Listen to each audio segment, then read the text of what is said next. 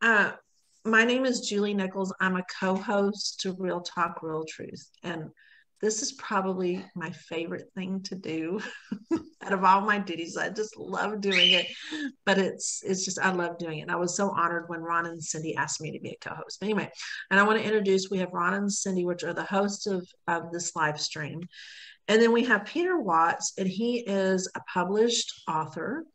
And he has served in various ministry capacities.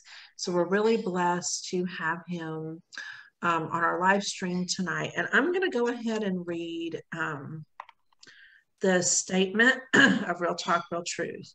As Christians, we are instructed to test everything that is said and to hold on to what is good. It's First Thessalonians 5:21. As the culture around us becomes more confusing and more divisive, it can be difficult to discern what is true, what is false, what is good, what is evil. At Real Talk, Real Truth, we feature open and honest conversations with real people as we strive to view the challenging issues of our day through the lens of biblical truth. Amen. Amen. Thanks, Julie. Thanks a lot for that. And as Julie said, we have uh, with us today uh, Peter Watts. And Peter Watts has a blog post called uh, Faith Rethink. Really good. You guys should check it out. Anybody listening? We'll post links. Oh, yeah, definitely. Faith Rethink, and he's been a youth pastor in the past. He's currently a teacher. He teaches social studies, health, and English. And he is also an author of this book here. If anybody's interested, it's a good book. By the end of it, maybe you can see, you can mm-hmm. find it on Amazon. It's called Authentic Christianity, and that's what we're going to talk about today. Is Peter's take on on his book and and his thoughts on what is authentic Christianity and how can we be better Christians in such a crazy world. yeah, absolutely. So um, I'm Cindy, uh, Ron's wife, and um, so we just like to have a little conversation with with with Peter. All of us will be will be chiming in, but we we, we read his book. Um, it's a very for anyone who who enjoys reading, even if you don't enjoy reading, I will just say this book is extremely easy to read. It is it is very much it's deep yet simple, if that makes sense. It's deep in the sense that it, it tackles some really deep truths of what it is to be truly Christian. But it's simple in the sense that it's very easy to understand. You don't need a doctorate of theology to read this book. You could anybody could pick up this book and read it and fully understand because it's a very conversational type of book. Um, very helpful. Yes, you could take away so much from yeah. it. Very practical. So we highly recommend the book. We're not here to plug the book, okay, but we do want to let you guys know that the book is out there. And we wanted to talk with Peter, with with our audience listening, to kind of to kind of give him the opportunity to share with our audience what he has learned about authentic Christianity through his life, through his studies, and just through the experiences that he's had in the different capacities that he's been in ministry. So, Peter, the first thing we wanted to ask you is kind of a two part question. How would you define authentic Christianity? And how do you think the modern American church, church as a whole, of course, can do better in encouraging Christians to be authentic? Yeah. Um, so I wrote the book kind of for two reasons. Uh, I was playing off the idea of what is an authentic Christian, what is a Christian in general. Uh, so, what does it mean to truly follow Christ? And on the other hand, I was dealing with what does it mean to be an authentic human being? And so I was sort of playing off those two realities that we both follow Jesus.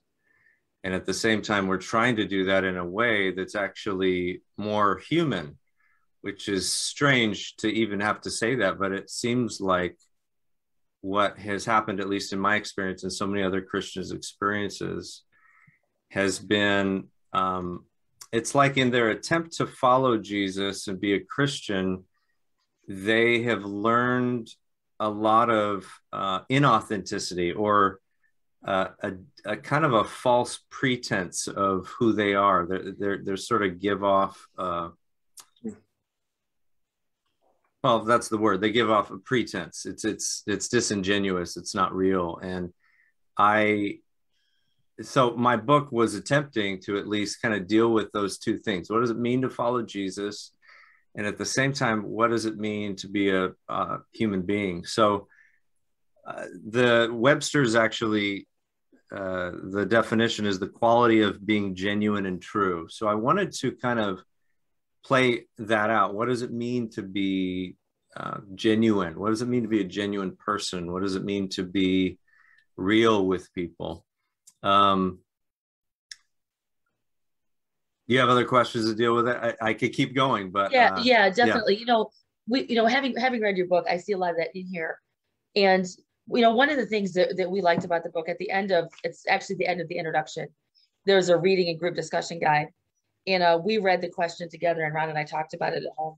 And and I think that t- this touches so much on what you say. You know, I, I haven't told any of my testimony here today, but I was raised in a Christian home my whole life. Went to Christian school, kindergarten through high college. Never went to a public school. Always went to church. You know, was all, had all the Bible knowledge given to me, and all of my friends and family were Christian. So um, I can relate to some of the some of the issues here. The question in your book says, "Why do you think it is so difficult to practice authenticity in churches?" And when Ron and I talked about it, we came up with a few things mm. that we kind of jotted down.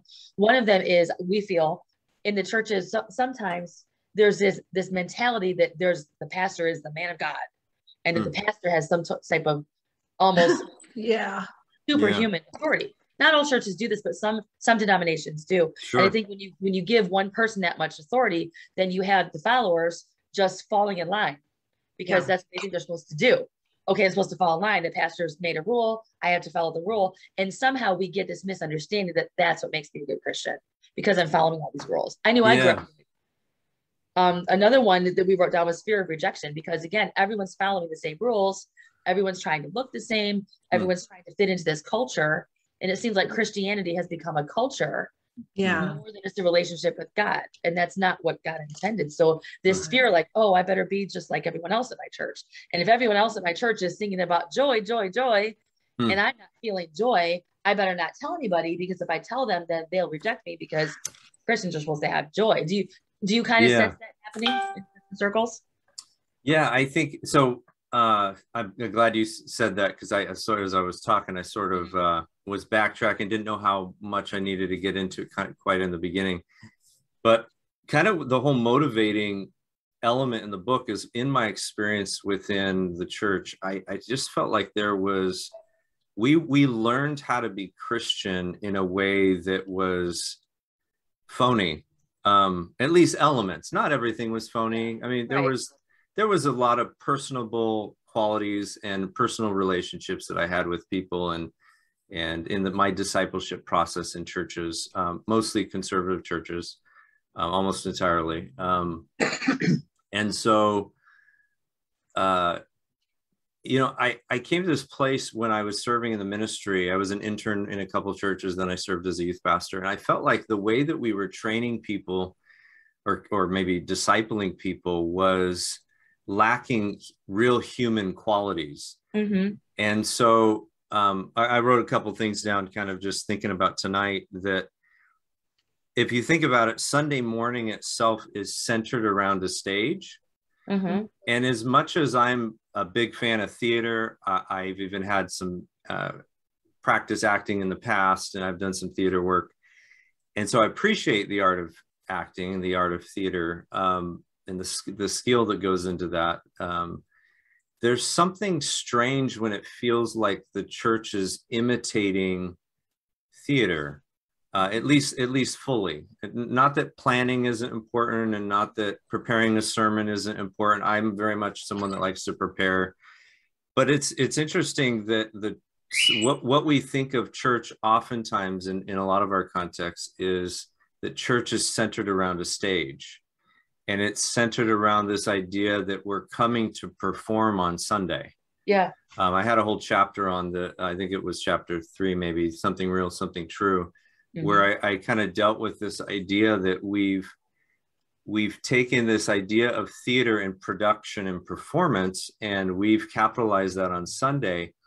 But what happens when you come to perform? You're not necessarily yourself; you're playing the part of someone else. Right and so i i definitely have seen that in my experience. I've struggled with it. I think i still do at times you know we're i think so much of the toxic stuff we were trained in in within the church is still part of us and it, jesus is helping us over time to kind of deal with that. And we're not f- fully uh, we haven't fully recovered. We're still kind of in a process where uh, God is being patient and working with us and kind of weeding things out that are, are just kind of phony. So I, I, still find myself do things, doing things around people, even in small groups. With my wife, we're part of a small group uh, with a church, and and I still get into some of those old habits where I'm acting the part of a Christian instead of just being real with people. Yeah. And um, so I've definitely had that experience.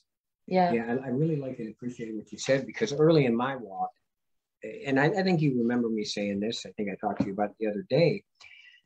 I felt as though as time went on, and probably within that first year, I felt like, am I the only one working on things? I mean, I I didn't hide anything. This is what I'm dealing with. This is where. I'm struggling, and this is where. But as I watched other people around me, it seemed like it, they were just playing the part. And I'm thinking, am I the only one who is able to be real with himself? Mm-hmm. You hmm. know, am I the only one that's able to say, you know what, I'm having these thoughts. They're not good thoughts. I don't like this about myself. I mean, you know, hmm. God worked on me in, in those areas, but I really felt that way. You know, and again, we come from a fundamentalist circle, but you, you always see, nope, just have your, nope, just don't think about it. Nope, just read the Bible. Bible and, well, it's really not that simple, you know, and yeah. you know, and and when you did mess up, you you were almost shunned. I think you know yeah. yeah and i think there's this fear of being shunned like you know I, I i feel like if you if you were to take like say 100 people in a church and they've all been you know they're all good good good standing members of a church and put them in the room if every one of them could take a piece of paper and write down their deepest spiritual struggle without fear of anybody knowing what it was right mm. throw them into a pot start pulling them out nobody knows who's who so no one's afraid mm-hmm. to be honest i think you would find that they have so many in common but no one knows they have it in common because they're afraid to say it and hmm. you may have you may have 20 people in the church who are fighting depression. Mm-hmm. but all of those 20 think that the other ones aren't. And so sure. i don't want to be the one that says i am because no one else is. And so we hmm. all i think lead each other to believe that we have this superhuman strength and that we're not that we're never sad we're never down. And i think some of that too comes from what the responses that we give people when they come to us with a problem. Like you know i think we've all heard this. You know someone let's say a woman has a miscarriage and she's she's sad. She goes to church and someone says how are you doing? She goes oh i'm fine the Lord's good. No, my baby's in mm-hmm. heaven. And she's dying inside. But she's afraid to say, hmm. I'm struggling with this. I don't think God was fair. You're not allowed to say that. It's a bad thing to say. So instead of saying what she really feels, she says the things she thinks she's supposed to say. And I know you talked about that in your book too this idea of trusting other people. That you have to trust people enough to tell them the truth about what you're going through. Because if you don't trust people, you won't share. But if we don't have a hmm. community that builds trust, I think we start yeah people not to trust each other enough to be honest if you if you're if you're if you're not honest with somebody it's often because you don't trust them like you don't trust them to handle what you want to actually say so so I, I think that's I think that's very true. I think that is a contributing factor. One little quote I wanted to read from your book is again from the introduction, and this will kind of segue into our next question. Um, we live in a time when the label or description Christian is often too is all too often polarizing in the political spectrum and wider world. And more often than not for reasons that don't truly reflect or represent the jesus who shows up on the pages of the new testament not to mention our lives today. Like christians were making too big of issues of things that are not primarily jesus' issue. Um, no matter your political stances and views, the call of Jesus to be the light of the world means at least that those who follow him should aspire to rise above the political debacles and actually be people with whom others both Christians and others who may not identify with Jesus or life in him might discover something good, something real and true. In other words, authentic, that is transformative for their lives. And Christianity is supposed to be transformative. Like hmm. Christianity is not supposed to be culture that we blend in with. It's supposed to mm-hmm. actually change us from the inside out. Do you do you mind if I add a little, just a very brief oh, please do. of early yeah. church history? Okay. Sure. And just most most of the viewers probably know that I'm Catholic. I, I actually came from Anglicanism and became Catholic four years ago. so that's my church background, and my faith in Christ is see, seen a lot through historical eyes, but I still have a personal walk. Um, but it's it's a different it's a different um, walk than a lot of evangelicals, but that's totally fine. We're all brothers and sisters in Christ. Um, the early church uh, and I'm in seminary, so I this is kind of my bag. but the early church, the earliest Christians did not have a Bible. Um, most of them had the Old Testament memorized, or a lot of them, and so because a lot of the earliest converts were Jewish converts, and you know the church was underground christianity was not legal until emperor constantine came to the scene in 313 AD. and the way these Christians moved the heart of Emperor Constantine to allow the church to come to the surface is that they took care of the most vulnerable in society, the marginalized. They took care of, you know, the sick, the elderly, um, the homeless, the widow, the orphan. They gave their lives, life and limb for neighbor. And what happened is, and they did it unconditionally. They didn't say, well, I'll take care of you if you become a Christian or if you become Catholic. And the cat the, the earliest Christians were Catholic. I will take care of you if you do that. And no, it was unconditional love. It was unconditional. And that was what moved the heart of Emperor Constantine. They were also called cannibals, the earliest Christians, because they um, partake in something called the Eucharist, which was um, they believed the the consecrated elements became the actual body and blood of Christ, and Catholics still believe that today. So do most Anglicans and Episcopalians. Some some Lutherans do too. Um, but and so they were uh, accused of being cannibals. If you look at John chapter six, it talks about the eating the flesh and drinking the blood of Christ. Um, but that's that's church history. But as far as these you know people that were perceived to be cannibals they were taking care of the most destitute in society. And it moved the heart of constantine so much that the church came to the surface. And church uh, all the early church fathers um, give reference to these the, the historic priesthood and what the early christians did um, to take care of the vulnerable. And and let me add all the other things in comparison to taking care of the marginalized. That is authentic Christianity. Is giving life and limb for neighbor, giving unconditional love under all circumstances without condition that is real Christianity because then people are going to go, why are you doing this? Mm-hmm. Why are you doing this? And it's because of Christ. And right.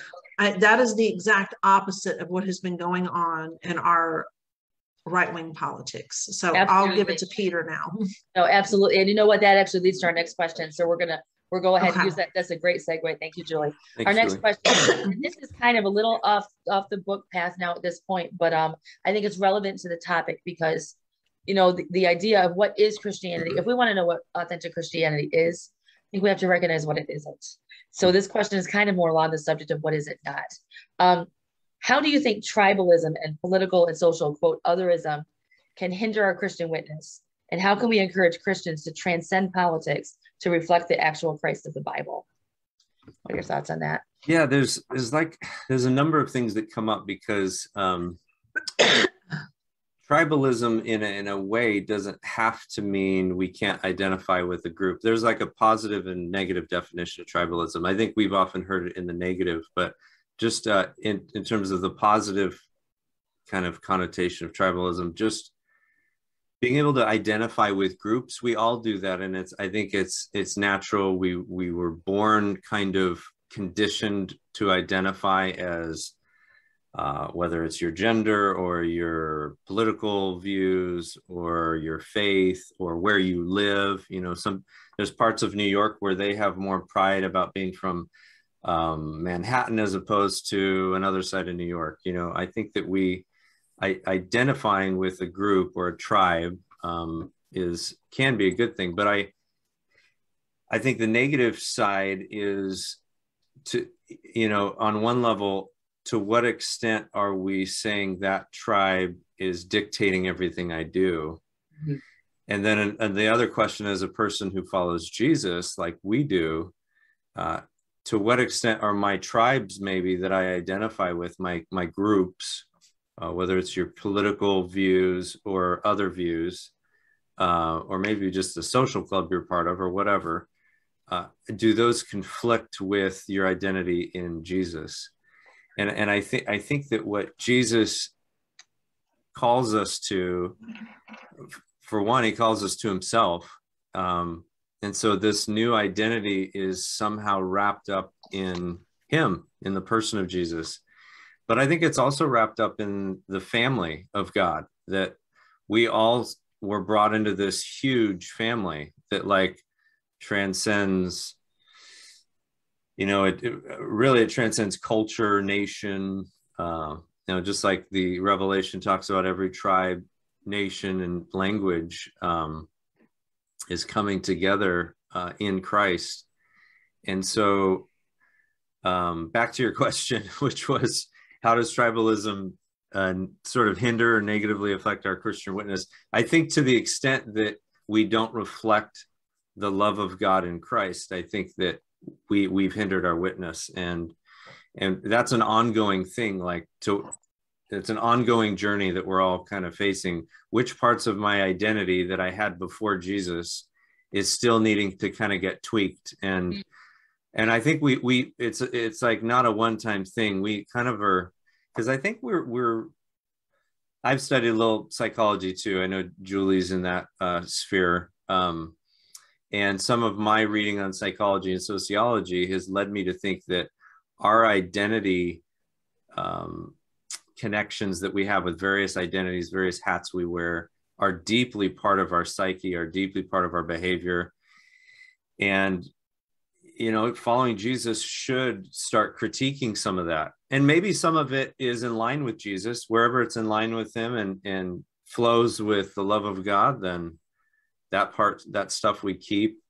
Um, but I think we just have to be open to the possibility that it's I might have a blind spot or I might have a weakness. And, um, and I think politics definitely comes into this category. And I, and I, I fail, I think, in, uh, without getting into who I voted for or where I necessarily stand politically, I, I can be so much, I can have my identity there too much where I just have to be careful that Jesus is still being reflected even in my political views.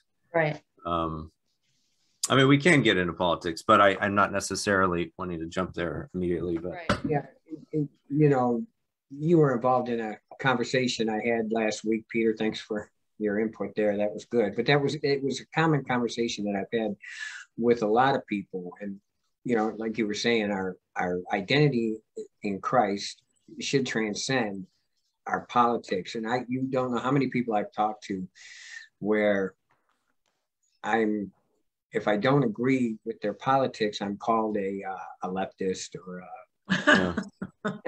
uh, yeah, yeah, you know, yeah, or, or whatever. You're so here we have two sides of the spectrum okay, if your identity is in Christ, now we all have bad days, right? I mean, you can't judge somebody by one conversation, right? right. Mm.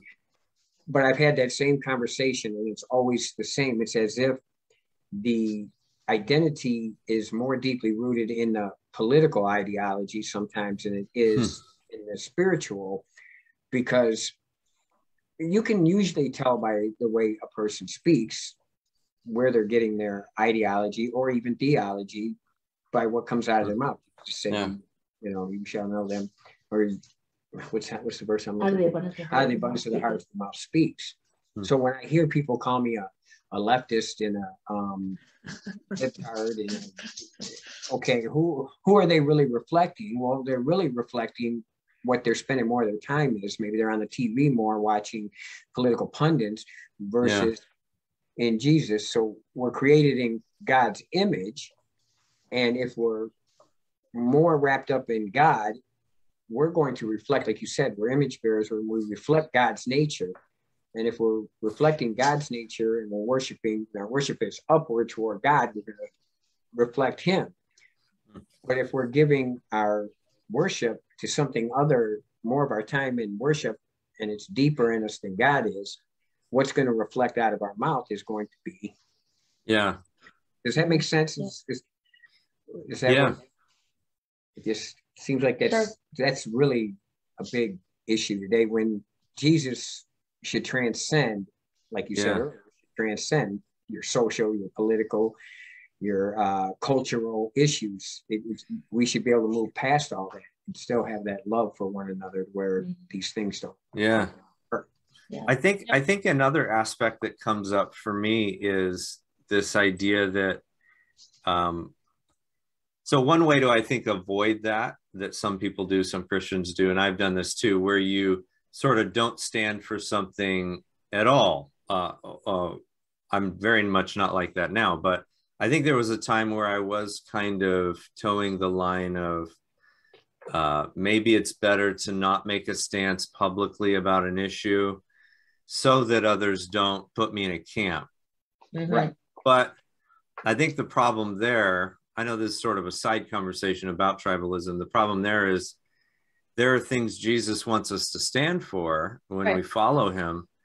And and I mean things on earth, like uh, your kingdom, like the Catholics often pray, but Protestants should probably pray it more. Your kingdom come on earth as it is in heaven. We we need the reality of what God cares about, uh, which I don't think is not. It's not just things we don't see; it's things we do see, like caring for the poor or helping widows or just helping friends that live near us who are down and depressed or whatever. And um, so I don't. I'm kind of going on a rabbit trail here, but No, that's Well, you know, I wrote down a quote from Martin Luther King, and, and it kind of fits right in there. Uh, it, the quote's talking about justice, but he warned that when the church loses its voice for justice, it loses its relevance in the world. And we could interchange that word justice for taking care of the poor, Hmm. taking care of the um, oppressed, um, all that stuff, the widow.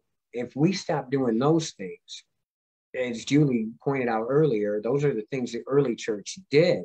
And they didn't even have to be Christians in order for them to do it. You know, Right. Jesus said, love your Mm. neighbor as, your, as you do yourself. When we stop doing that, uh, the re- relevance seems to, um, Mhm. we lose.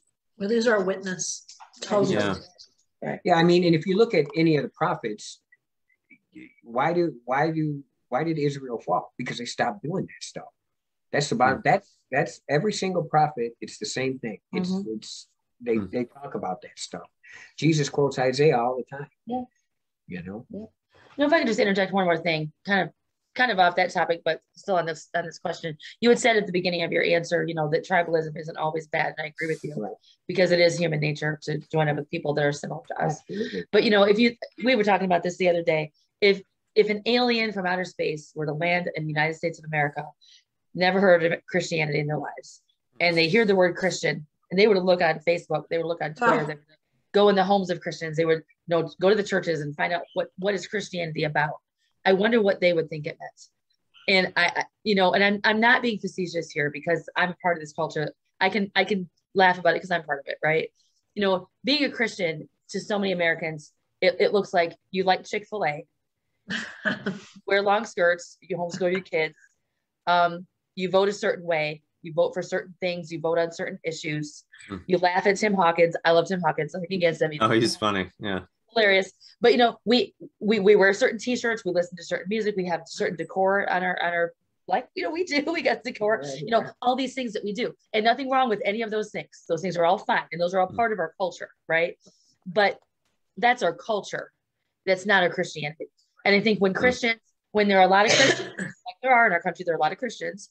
When there are enough people that have something in common they create a subculture right? And as christians we have this subculture that is known by certain types of music decor t-shirts. You know what? We have christians now we have our own you know pureflix we have our own video hmm. companies and all these things and that's fine but it's so easy to start thinking that that's what being a christian is. And i would say no that's our tribe those are the, the traits of our tribe and that's fine but that's not what being a christian is like you don't have to conform to those things to be a Mm. christian you can be a christian and not like chick-fil-a you don't have to shop at hobby lobby it's not what makes you a christian and i know Mm. everybody knows that like if you would ask oh yeah i know that but sometimes i think we we so Mm. easily conflate those things that we forget that christianity is the word christ christianity it's a Yeah. relationship with christ I think. Oh, go ahead, Cindy. no go ahead that's it that's all No, we. I remember the conversation when I first talked with you guys off camera when we were talking uh, about the importance of reflection, self-reflection. That there's something that is missing. I think, at least it was missing with me, and I and I venture to say because I've I've I've actually met Christians from a wide variety of Christian denominations, so I um, I haven't just been in my own particular bubble of whatever. Um, I you know I grew up Pentecostal, but I have a wide uh, expanse of uh, just relationships with various Christians. And I think one of the things that I think is missing, according to them as well, is this idea of self reflection that, mm-hmm.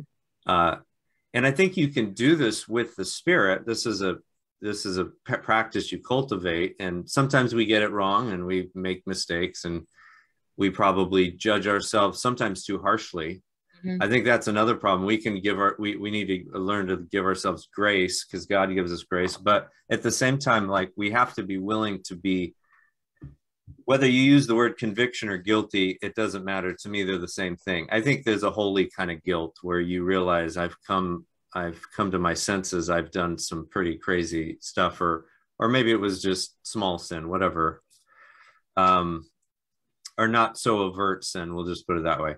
But I think self reflection um, is so like needed, and I think some of the reason why. Um, I mean, I personally tend to see this more in as you were saying, Ron, earlier, right wing politics. It, I, that doesn't mean left wing politics or middle of the road that can't also get into this habit where we get so caught up in our tribe that we don't self reflect or critique. Yeah. Um, and, um, you know, we have to be willing to go, you know, I can agree with this thing with this group, mm-hmm. but I disagree with this. Yes and uh, there's maybe some trouble.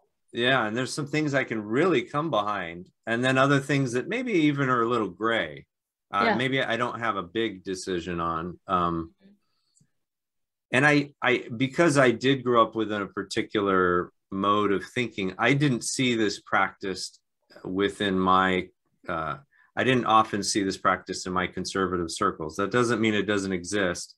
It means i didn't see it practiced as much. So there was often a hostility even that oh that when you'd suggest someone would need to rethink something or even be open to the possibility.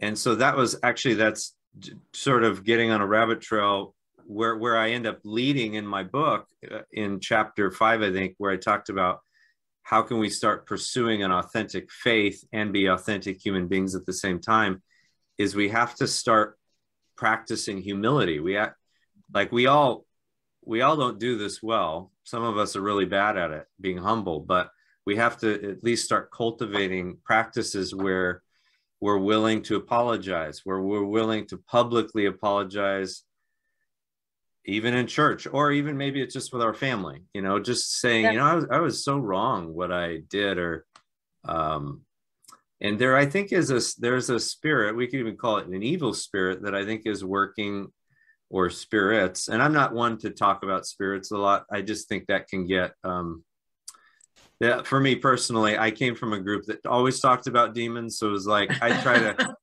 it's like there's a demon behind every corner. So right. When I bring up spirit, I I might be meaning being a, serious about this. I do think there's a work of the of darkness that is uh deceiving a whole culture of Christianity, we'll call it contemporary Christianity, where there's an unwillingness to acknowledge maybe fault.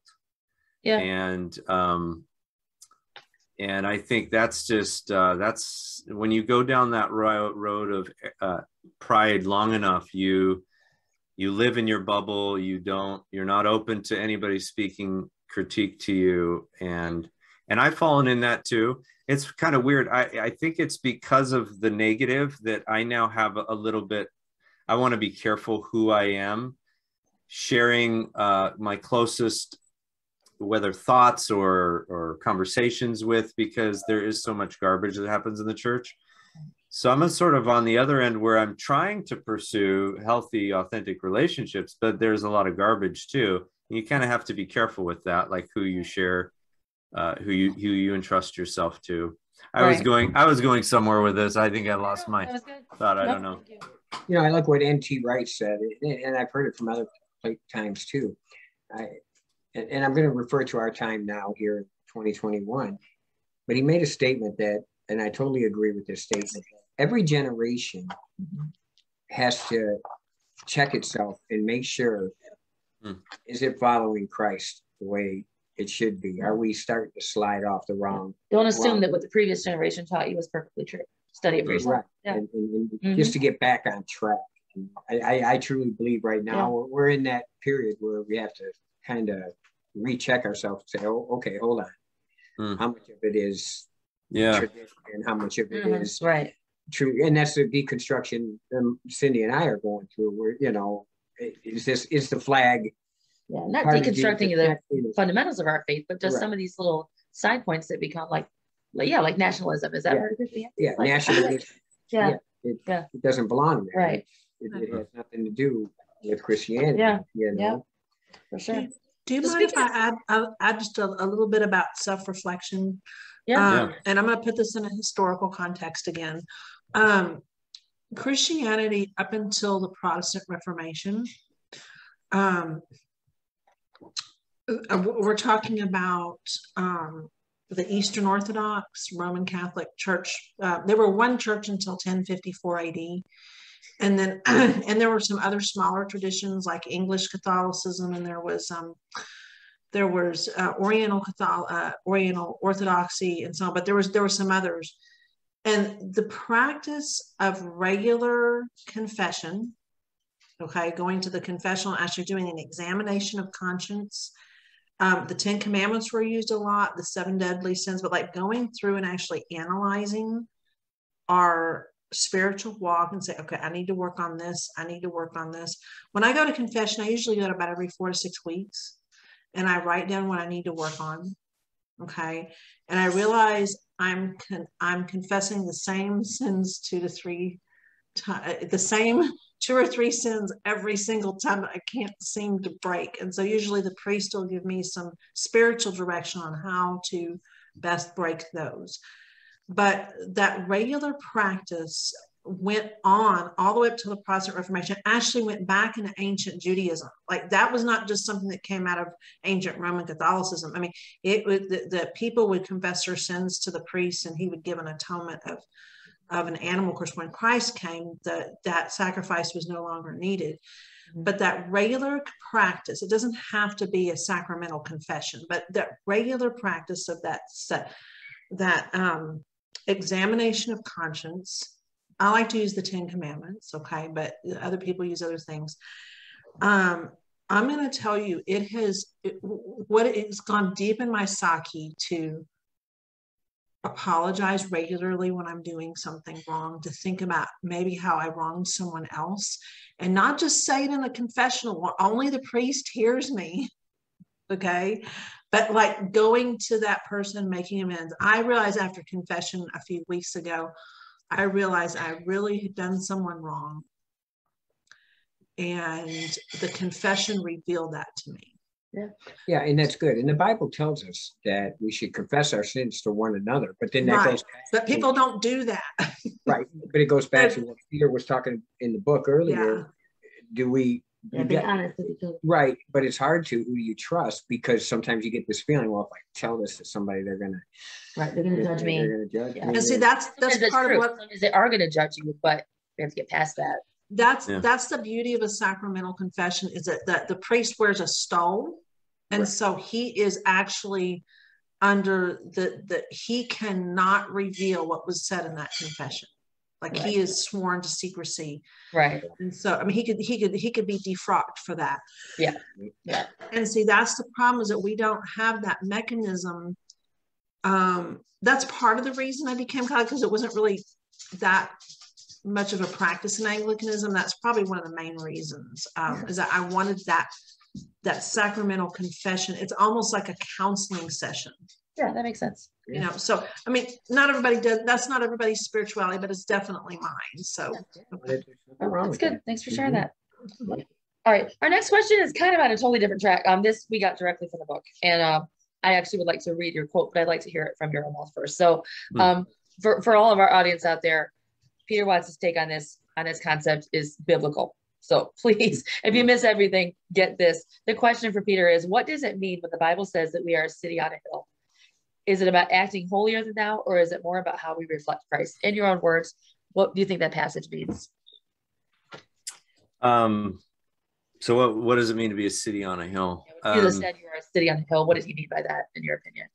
Yeah, I I think the I think right before Jesus says that you you are the light of the world, a city on a hill that cannot be hidden.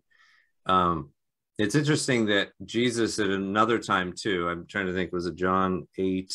I, I can't remember, but probably John eight, where he talks about he's the light of the world. Um, in fact, let me read it here. I wrote it down. He says, I am the light of the world. People who follow me won't go around in the dark. They'll have the light of life. So it's the following Jesus is about following the light. Uh, Jesus is the light, and yet we're also reflecting this light.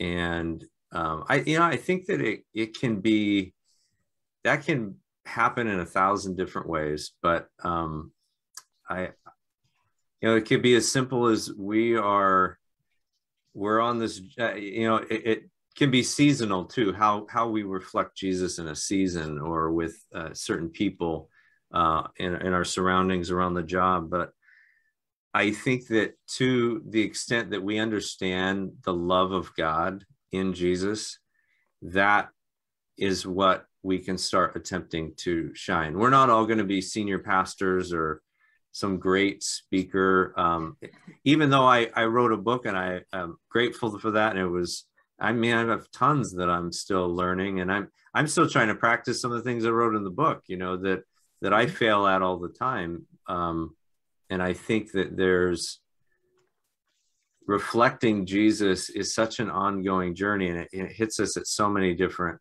levels. But it is about Jesus. So if mm-hmm. so, is at least for Christians that to be the light has to do with how is it that I'm reflecting Jesus? And we can, I think we can tackle that in a uh, very Pharisaical way, where it's all about did I do this and not do this, where it's, I mean, rules are good. It's not that rules are not good, but if it's just about rules and not about reflecting the person, then right. then the rules become meaningless. So yes. it has and the commands even become meaningless. Um, and I think that if the commands don't flow out of I'm I'm following Jesus's command, it, I right. think that's that's where the life giving part of faith in Jesus is. And that's where grace is. That's where the Holy the work of the Spirit is. Is it has to do with following this person Jesus, who we believe is Lord, but he's a person too, and we can't lose sight of the the person of Jesus in, in the process of uh, shining the light. But it's I think we're pointing back to him. Maybe that's part of it too. Yeah, yeah. You know? that's it. So good. And you you know, did I? Well, yeah, I was going to say, and and I like what you said there because it, I caught myself. I catch myself all the time where I'm just going through the motions, and when I find and you know doing it, you just you need you know spaciously just going through the motions, knowing what it is and how to be a Christian. And when I fall into that, I kind of lose my relationship kind of with Jesus because I'm not connected to him in that deeper way to where he can help work out things in my life. I think we can get caught up in that, just mm-hmm. going through the motions right. and, and where people are regulations, you know. Right. And people seeing you follow rules is it i'm going to read your your quote from the book in a minute here but you know just from from again the what i see in a lot of christian culture mainstream hmm. evangelical circles is it, and I, i've heard this type of thing even taught where let your light so shine before men that they may see your good works you know and so the idea is when you go to work you make sure your coworkers know you're a christian you make sure they know that you don't cuss. They know that you don't drink. They know that you don't smoke. They know that you don't go to movie theaters. They you're a lady. They see you wearing a long skirt you know. They see they see the men with the short hair and the and the, the tie. And, mm-hmm. and and and that's the that that's supposed to be what we do to let our light shine and let people know we're christians. And it's like okay nothing wrong with those things. Nothing wrong with mm-hmm. any of those things if that's what how people choose to live if they believe biblically to live that way that's fine but that is not what the world goes wow that person must be a christian because look right. at that long skirt like that's not what draws people to grace and if right. you listen to the rest of that verse let your light so shine before men that they may see your good works and glorify your father not so that they'll glorify your culture it goes back to this culture thing, I think, where we got to make sure we look like Christians. Wear my Christian t-shirt so everybody knows I'm a Christian. And that's not what this verse is telling us to do. Yeah do that if you want. That's fine. You know, it's it's That's weird. It's, oh, go ahead. Yeah. No, no, that's fine. I just wanted to read your quote, but if you want to add before I do, Uh, no, read the no, read Okay. the quote. I'll probably come back to it. Yeah, okay. So in the context of that passage, um, this is from the chapter called When Christians Become Human. You said, notice that Jesus said, said the way we live actually catches the attention of people who then in return give God glory in the sense of praising and thanking God. Why are they giving glory to God? What are they praising and thanking him for? There are limitless reasons we can probably think of, but one, in the context of Jesus' whole life and teaching, is simply that when people notice a group of people who actually live the way Jesus lived, caring more about others than themselves, taking time to love and invest themselves into others, it is a sobering, eye opening experience. And I love this next statement people are selfish by nature. So to notice and experience a group of human beings, followers of Jesus, who live differently is something that catches attention. And when this happens, some people will thank God for it. And what I got from that is the thing that attracts the world to Christianity that makes them go, oh, wow, look at those Christians. I want to glorify God. And maybe I want to be a Christian. It's not when they see that we don't cuss or that we don't go to movie theaters. I'm not, not saying that we should cuss and you know whatever you believe about movies, but that's not what draws them in. What draws them in is when they mm. say, "Wow, look at that selfless person." That's not Yeah. normal. Like that's weird how selfless they are. Like you just sacrifice that for me. How? Why would you do that? I think someone mentioned that earlier today. Why would you do that? Why would you love me? And when they see that, that's what draws them in. Hmm. because it defy it defies the culture, Right. it defies the it, it transcends the culture, it superhuman. defends right. It goes beyond the political, beyond the social, Right. all that. Hmm.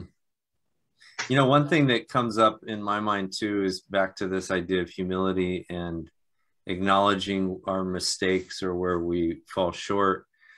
Um, I, I think that because you know, I was thinking about this. We when I when I wrote that section on hu- humility, I thought I don't have a lot of examples in my own life of people who at least consistently walk humble you know, we all have days where we act in pride and we act selfish and whatever, but I just didn't have a lot of people, but I had a, enough of them and enough of good moments where I think they reflected uh, uh, being a servant that I began to see Jesus in that, and that helped me.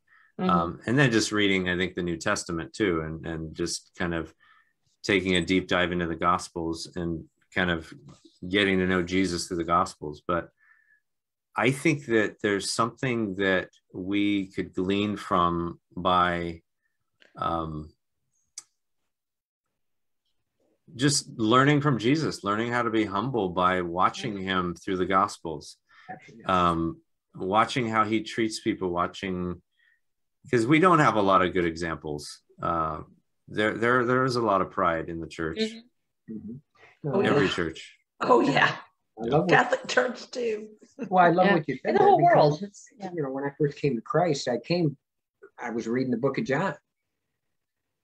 And that's when I fell in love with Jesus. I'm like, yeah, this is it. This, let's look at look at how he is. Look at this is, you know, th- th- that's the man, that's the God I fell in love with. And, Hmm. and that's my experience when, you know, through the church. I just started thinking of that first year, man. It's just nobody seems to be following this, right? I mean, we should have that you know, you talk about humility. Well, where does the virtue of humility come from? Well, it comes from the first beatitude, poor in spirit, right? And you- You're you're grateful for what God is. He's saving you from sin. He's showing you how to get the sin Yeah. and taking care of you. That should create right there. If you have that, because if you don't have the first beatitude, you- you're going to struggle with the rest of them. You're going to have trouble being meek. You're going to have a trouble mourning Hmm. sin. You're going to have a trouble with a pure heart and seeking after righteousness. All those are going to be hard if you don't have that first one. And that's where our humility comes from is, is our gratefulness to what Jesus did on the cross for us. Yeah.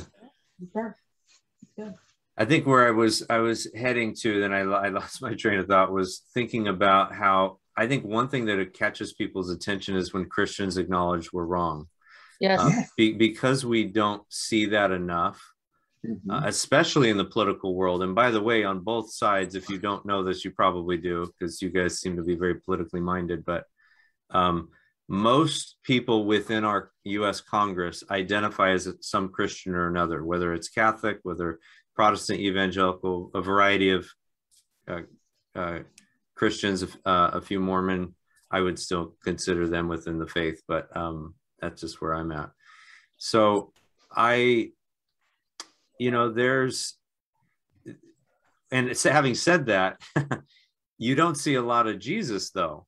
Um, no. and and so no. you know it's it's interesting that the very people who have very big a lot of power in our country dictate a lot that goes on not just the president but congress in fact i would argue that it, to some extent congress uh, has maybe more power. I, I, know that the president has a lot of power but there's it, these people are very powerful in in our country in terms of their influence um, on the nation. And so you know when you don't have people regularly acknowledging maybe we made a mistake there. Let's come together. Let's try to fix this yeah. instead instead they're just pointing fingers yeah. instead of trying to come together. I do see it but it's it's not in the majority at all um no.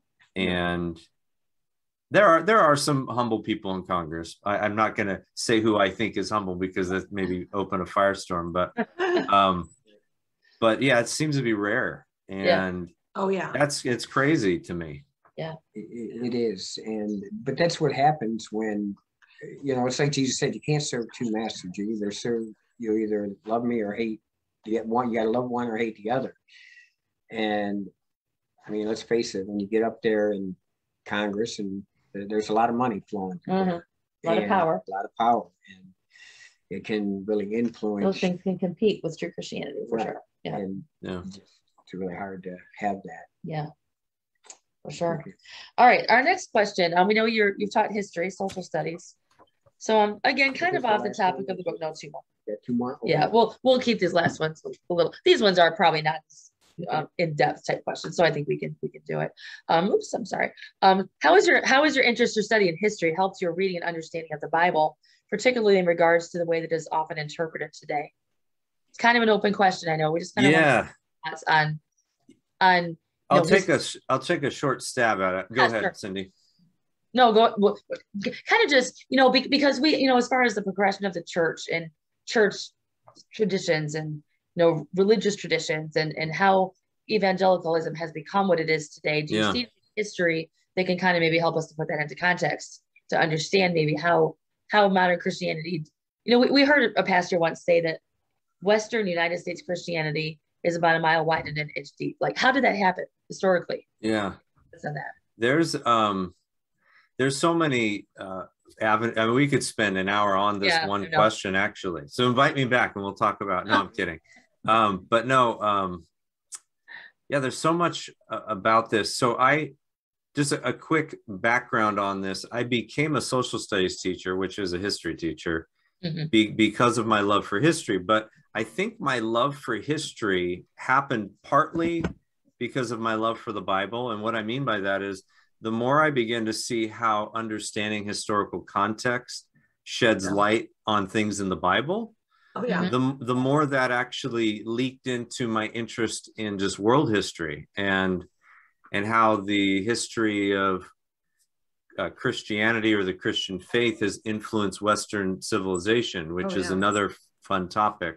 Mm-hmm. Um, sometimes in horrendous ways. Um, yeah, yeah. So, um, you know, before before Constantine, Christians believed you didn't pick up the sword at all. I mean, that's a whole yeah. other oh yeah uh, a whole other topic. And now we justify all kinds of violence in the name mm-hmm. of religion and even in the name of Jesus. And I and I think, find that very questionable because Jesus told Peter to put away his, his sword. Um, oh, he did.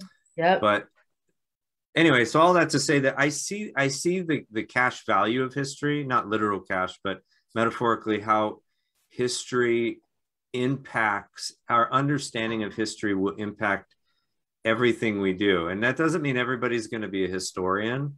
Right. It, it doesn't even mean everybody's going to be a bible scholar. I mean i i have even just people that i've come in contact with i have relationship with other christians. I'll recommend some easy to read commentaries you know um, even those can be very helpful because they help get people thinking about context. And mm-hmm. I, I, think there's this misnomer that all I need to do is pick up the Bible and I'm going to that somehow it's going to make perfect sense and i i do think that god can use anything so on the one hand i might go i might say that god can use anything even a misunderstanding of the bible to teach you something okay. but but at the same time there's there's a lot of value in trying to understand context. Mm-hmm. and uh, no one gets it perfectly. I mess it up too and i'll have a friend that'll go well you might consider this actually that i'm not sure you're reading that right. And i just have to be open to hearing that. Yeah. Um we do that all the time. Yeah i think history it, it is huge. Um even even just sticking with the gospels there's something about understanding what Jesus walked into in the first century yes. that helps understand the the passion story a little better. Um, I mean, if anything in the entire Bible that we should at least start gaining a little more historical context, it's the Gospels because I think we've heard it so often told in a certain way that we've mm-hmm. actually missed a lot of what's going on there. Yeah, I agree. Um, and I think we've majorly uh, uh, with a with all branches of Christianity to some extent or another have um, really missed Jesus and we've misinterpreted him.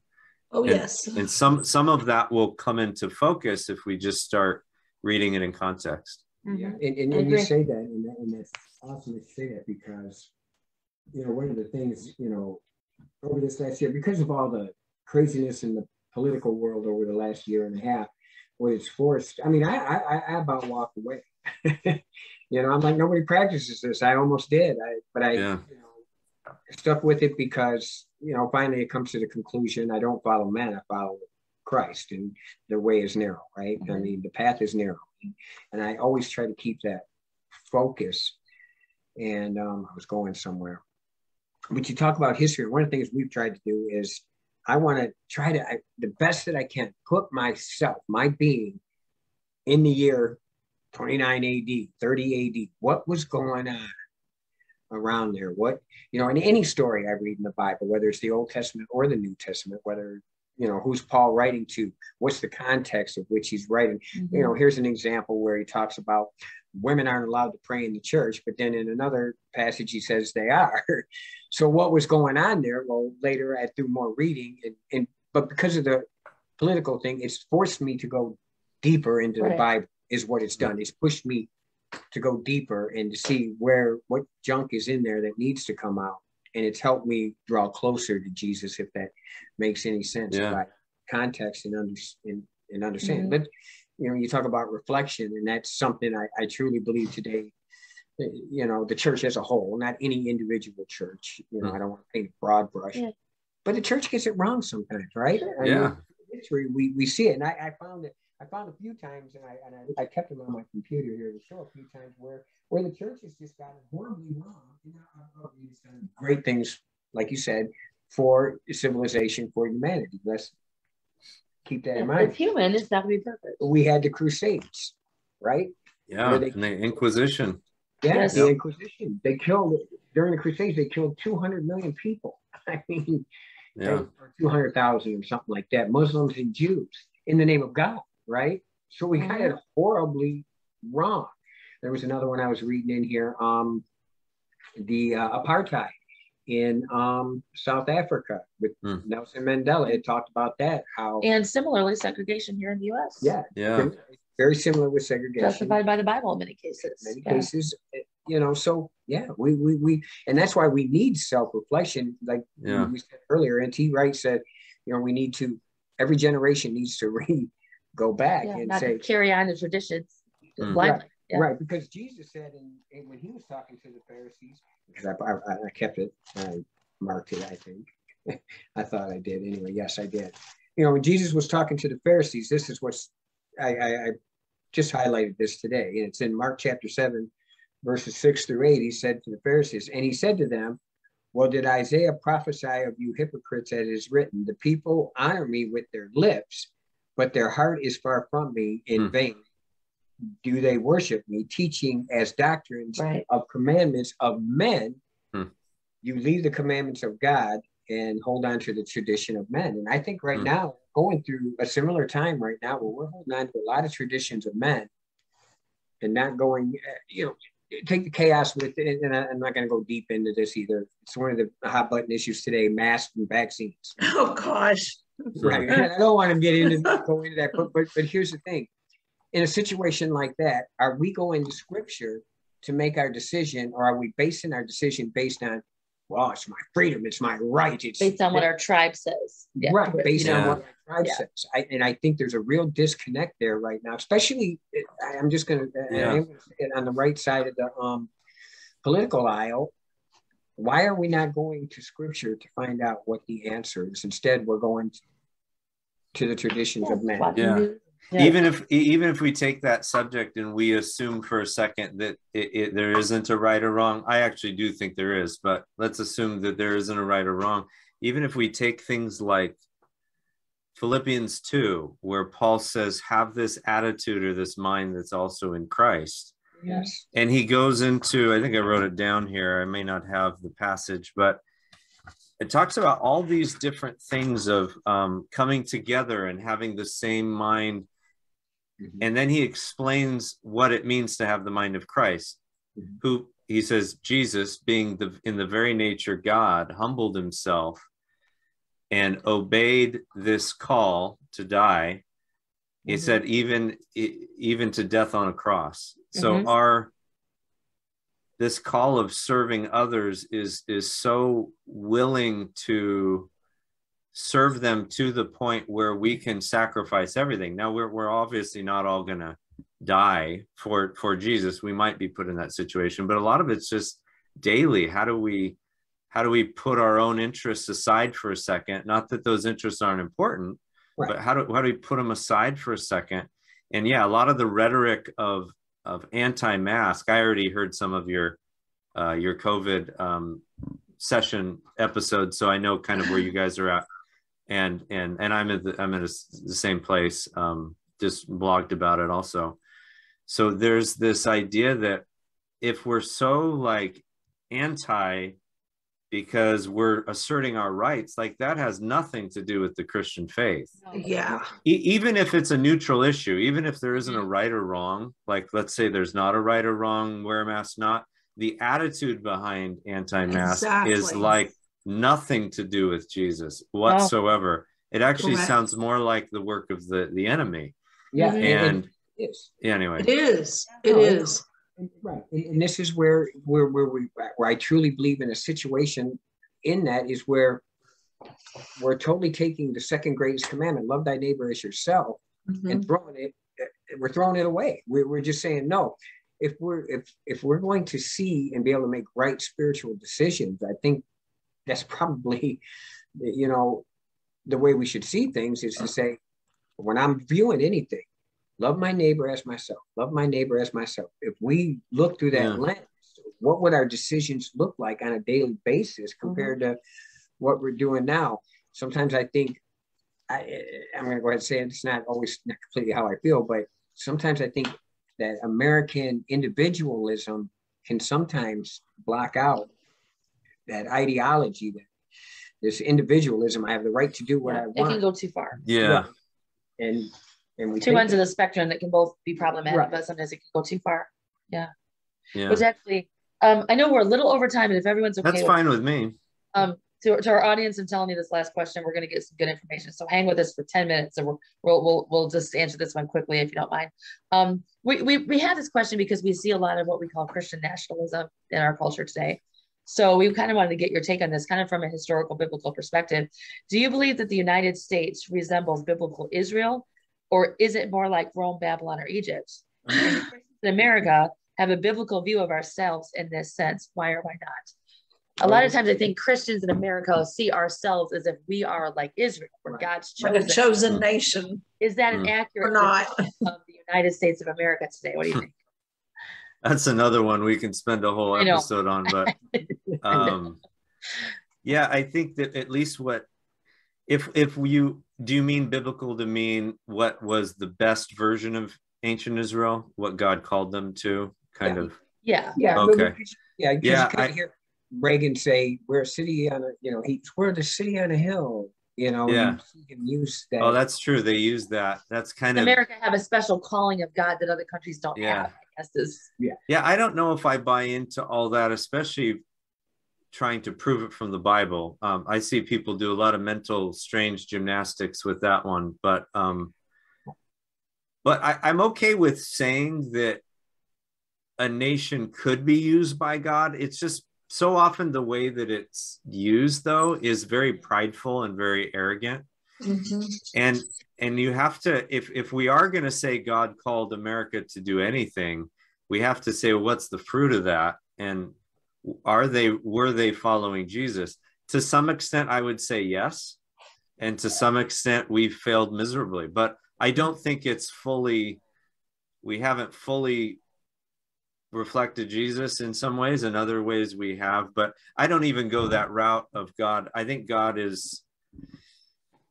Let me get to your question. I almost got on a uh, tangent there, but I, I think you know in in the book I talk about how Israel, their original calling was to to be a blessing. That God called them to bless the nations of the world. That in Abram or uh, who became Abraham, all the nations of the world will be blessed. I mean, this is the original this is the Abrahamic promise. Mm-hmm. And this is what a lot of the Bible ties back to. Even Jesus, I think, weaves what he's doing back to Abraham.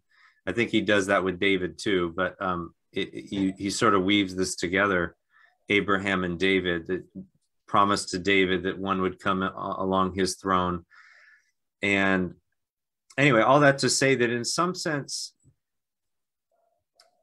you know, I think where ancient Israel failed at that, and I get into this, I think in, I, it's probably when Christians become human. I think in that chapter, where, um, although it might be in uh, the one, the uh, Beyond the Self-Made Project. Yeah, I think, I think it's chapter four, Beyond the Self-Made Project, where I, I kind of talk about. Um, that ancient Israel's sin, biggest sin, you know, this is my own opinion, but I, I do think it bears out in the Old Testament is their one of their one of their big sins is that they went inward.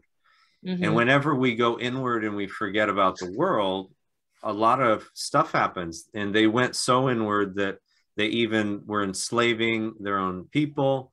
Uh, there were indentured servants. Some were even, there was a harsh economic suppression the whole book of Amos, in part of Amos's prophecy against Israel, or maybe it's the kingdom of Judah, but it's the the remnants of Israel, is they were oppressing their own people, and he was talking. He was yeah. kind of saying, this wasn't just spiritual oppression; they were economically oppressing their own people, um, taking advantage. Kings and priests were taking advantage of the people of God. So I think Israel's big sin is they went inward, and then and then I talked about how Rome's big sin, the Roman Empire, was that they tried to dominate others. Oh yeah. But even to some extent, yeah, even to some extent, Israel did that too. If you if yeah. you if you follow the, Israel's monarchy, they even were acting in ways that the world was acting. They were right. physically violent to some of the uh, nations surrounding them that God didn't even tell them to go mm-hmm. um, I mean, that's kind of a whole other can of worms to violence in the Old Testament, but they're, they're, they were doing things that resembled the violence of the pagan nations. Right. And so when Jesus starts saying things like, put away your sword and um, do unto others as you would have them do to you, and he starts talking as if following him includes not acting like the Romans, not being aggressive, violent people and hostile people to make your point known. Um, it, it was supposed to cause a double take. Like, okay, Jesus is claiming that to follow him, to follow God's kingdom, means to do things very differently than the world is doing. Right. Um, right. So I don't know if I totally answered your question. Do you believe the United States I think in some ways we've followed the errors of ancient Israel and Rome. We've yeah, I agree. We've we've we've to some extent along our history we've been very blinded by money and and and that doesn't mean that I'm somehow a communist. I, I'm not at all uh, because there's dangers even in that economic system. Right. But um, there's yeah, we've gone inward. We've been careless. We've made money. Wall Street is like big on every, a lot of people's mind every day. Right. Um, money makes the world go round, around, and I think America has been very greedy. Um, so we've been like Israel in that sense, and we've also been like Rome because we've sometimes been in too many places around the world with our might, military might, and showing our power. And I, I just don't think that. I get that we live in a world where this stuff happens, and and it's hard to uh, it's like well what would happen if we didn't have militaries and did have Right. these checks in the world i get that that's an important conversation um, but to see my fellow christians be so quick to assert uh, america's military power as if that's supposed to be what we're all about. Showing our iron fist i mean that's that has nothing to do with jesus in my opinion Uh, it's antithetical, really. yeah Yeah. And you made two great points. You know, you talk about Wall Street. You know, the Israelites had a calf. We got a bull. Yep. Uh, We had a yeah. bull sitting in front. You know, Yeah. uh, you know, and you talk about, you know, at times, you know, one of the things that it turned me off of the former president was one of the things that I liked about him when I when he first came in was, you know, when he dealt the way he dealt with North Korea when North Korea was acting up, he said, "Look, you mess with us, we're we're going to hit you. Stop." I'm like, "Yeah, that's that's that's okay. You're you're protecting us." But then, as we got closer to the election time, and I started paying attention again, it was turned inward on fellow American mm-hmm. citizens who didn't agree with his ideology. The exact same thing we were talking about. You you turn that vengeance inward on your own citizens. Y- y- What's going to happen? You know, you're yeah that's where your division starts to come in because. So I'm not American because I don't. right. you know, when you, your leader is turning that that that malice in that, you know, on their own citizens, it's not good. You know? Mhm. I love the balance of your answer. You know that that we as we we as a as a nation have done a lot of good, and I agree we have. Absolutely. We did a lot. World War II, we did a lot of good. We've done a lot of good in this country, but we've Mhm. also done a lot of evil. And I I feel like one of the one of the tendencies that we see among again our evangelical circle is this extreme diehard patriotism where yes we should love our country Absolutely. but we shouldn't just America first, America first, America first to such an extreme that Yeah. we just ignore the sins that we've committed as a country or that we are against people from other countries because we think we're superior. yeah One thing you mentioned in that quote that you talked about in your book, I, I'm not going to quote it perfectly and I put the book down, but you said something to the effect that the Jews, the Jews started seeing the Gentiles as people to be conquered or as enemies, I believe, Mhm. instead of seeing them as someone they were supposed to bless. I don't know if you remember that quote that you Yeah. said. And, and that's the idea is, yeah, we can be happy to be Americans. We can be thankful for Mhm. America. It's a great country. But this idea that we're somehow superior because Yeah. God has blessed us. No, God, God doesn't love us any better than he loves any other country. And I think and, and every ancient Yeah. every ancient nation's done that too Yeah. so even though it, that was a sin of ancient israel um, to be fair to them every nation has Sure. been including Human. america has been Yeah. uh, Mhm. oppressed others and been self-centered and yeah, uh, hated other people just because they came from a different nation or maybe they're like today or just because their skin color is different or whatever um, Yeah. human nature. Right. But I think that's the reason why we as Christians need to be careful that we can love our country but not worship our country. We have to Yeah. acknowledge our country's not perfect. and, and, and, and like with the polarization today, when you, Eh, you know, again, we come from a conservative circle. And one thing I notice in my conservative circle is that we're told that Democrats are our enemies. yeah. They're not mm-hmm. Christian. There's, there's that inward again where Yeah. we're, Us versus them. right, Yeah. it's us and us versus Yeah. them mentality. And I see it more right than I do on, I'm not saying it's not on the left because it is, it, you, you see it everywhere, but I think it's more It's human pre- nature. Right. You see it more prevalent, but that's exactly the opposite of what Jesus told us to do. yeah you know, it, it's it's it's the total opposite. I may not agree. I don't agree with any political party on everything. I just don't. I'm not. I've, I've been freed from that. You know, that's exactly what one of the chains Jesus broke me from, and the closer I drew to him.